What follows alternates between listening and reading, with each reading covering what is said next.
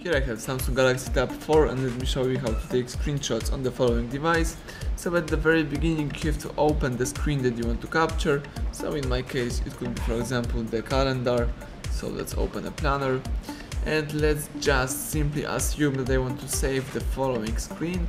So all I have to do right now is use the following combination of keys. Power key right here and home button. Let's hold down together these two keys for about 2 seconds and as you can see and hear the device just took a screenshot. So let me show you one more time, let's hold down together power key and home button. Let's do it for about 2 seconds simultaneously and you just took another screenshot. You can also use another method of taking screenshots. You have to use your gesture. Let's swipe your palm to the left or to the right on the screen, let me show you. And you just took a screenshot. Let me show you one more time let's swipe your palm. And you just took a screenshot. Excellent.